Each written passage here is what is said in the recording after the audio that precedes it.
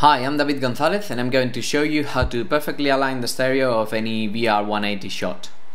Mistika VR 887 introduces a tool that heavily simplifies the correction of vertical disparities between the left and right eyes on any 3D 180 shot. I want to thank Casey Lay from Isugar who sent us this footage for the demo. And as we always do, we're gonna start by centering the lenses. So just go into the one view mode and drag the circles until they match the circle drawn by the lens. After that we can get out of one view mode and just for safety go to positions and bake in the output camera. We are now ready to go into the alignment mode, we can just activate it here and once this tool is active the user can forget about entering any parameters and concentrate on the image itself. I'm gonna switch the view to black and white anaglyph which helps a lot with uh, viewing the issues. At this point I usually use the horizontal balance as a temporary parameter so that I can converge on the area that I want to match. I converge there and I just need to select the eye to which I want to apply the correction. I'm gonna select the right eye and click and drag until the red and cyan fringe disappears. That is fixing uh, pitch and yaw for the right eye. I'm gonna move vertically down and if I click and drag I can fix focal length disparities on the right eye. Make sure you pick a point right below the center of the frame, the perfect position will be under this blue line in here and not go too far left or right. Once I'm happy with that I'll go up again and I can move down to the sides.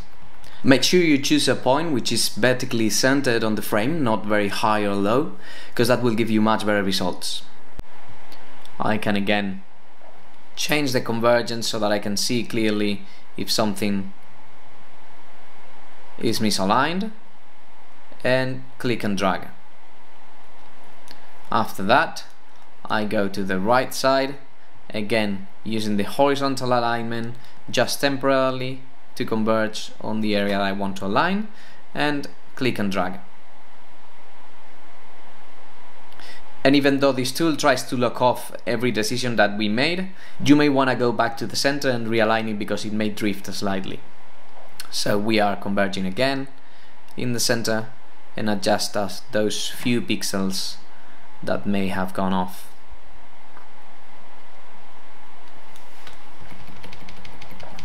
We can now switch quickly from left, eye, left and right eyes we can see vertical disparities are almost non-existent and we need to remember to remove the horizontal balance so the depth sits on the right place. One parameter that we may want to tweak is the coaxial distance. Coaxial distance won't increase or decrease the depth of your shot, but it will actually correct the view for a certain distance to the camera. So I'll go again into black and white. I'm gonna focus on this plant in here and increase the coaxial distance until the image is vertically aligned for the distance most important for the scene. They look pretty good. I want to make sure now that I'm converging on the furthest distance, so horizontal balance. That looks good. And that is a very good VR 180 shot fixed really quickly. I hope you enjoyed the video and thanks for watching